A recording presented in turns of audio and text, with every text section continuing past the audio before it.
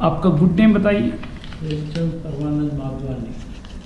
मधुबनी साहब आपका रिपोर्ट में ये लिखा है डायबिटीज़ है बीपी है इस्टमिक आर डिसीज़ है पार्किंसंस है आर आर्थराइटिस है कॉन्स्टिपेशन है।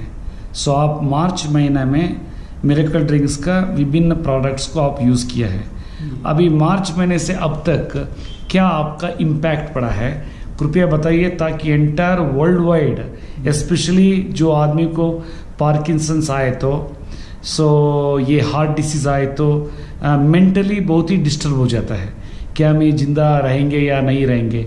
इस संदर्भ में दो महीना में क्या क्या उपयोग हुआ है? कृपया बताइए। सबसे पहले तो जो मेरा सिस्टम में जो अपना स्वेलिंग था वो बिल्कुल कमती हो गया। कहाँ स्वेलिंग था?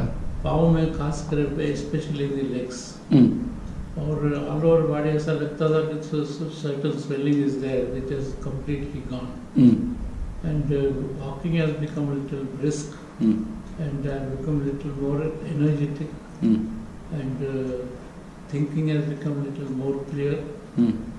and, uh, and that's I think Really, I am very happy because you are being an 78 years old uh, gentleman.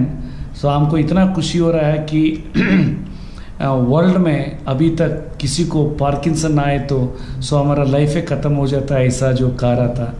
लेकिन I am so happy that you are seeing that my walking is also you know the level of walking is increased the and all. It's really I great. Think really this miracle drinks has helped me a